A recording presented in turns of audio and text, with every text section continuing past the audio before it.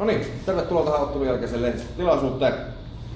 IPK juhlaottelu saatu päätökseen ja 60 minuutin jälkeen taululla lukemat IPK Hermes 1-2. Otetaan päävalmentajien kommentit tähän ensin vierasjoukkueen valmentaja Erme ja sitten kotijoukkueen päävalmentaja Jukka Niiranen.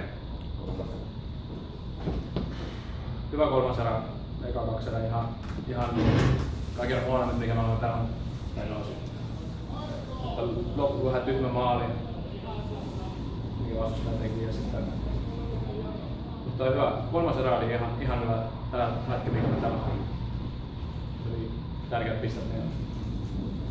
Kiitos sitten Jukka. No, tulokseen pettynyt tekemiseen en. Ensimmäinen toinen erä meidän, meidän piti siinä ratkaista jo peli ja mennä menoon. Ja viimeinen erä sitten meiltä varmaan loppu, loppu, loppu jalkatossa, kun ei päästä omista mihinkään eka kymppi. Eka kymppi. Mulla on vähillä miehillä pelattu nyt tuota, niin neljä päivää, kolme peliä, kymmenen päivää, viisi peliä. Ehkä se näkyy, ehkä se näkyy tuossa sitten. Joukkue taisteli alusta, alusta loppuun asti ja harmittaa, niin kuin sanoin, tulos harmittaa. Ensimmäinen toinen erä piti katkoa peli jo siinä. Ei oikein muuta pysty sanomaan tähän, jäähän tauolle nyt ja otetaan laakkuja ja toivotaan miehiä sairastumaan.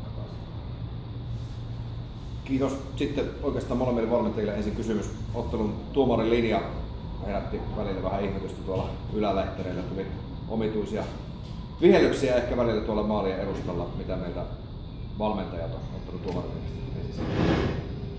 No, ehkä se oli molemmille samanlainen. Mutta kyllä se oli pari semmoista, mikä oli ihan semmoista kysyttävää.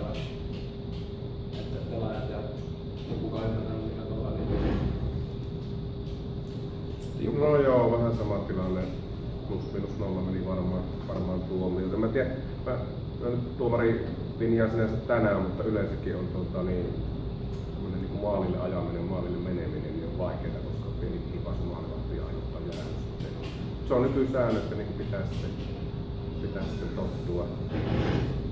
Tuomarit selviytyi hyvin tänään omasta. Kiitos. Sitten onko medialla kysymyksiä? Ellei, päätetään tilaisuudesta. Kiitos.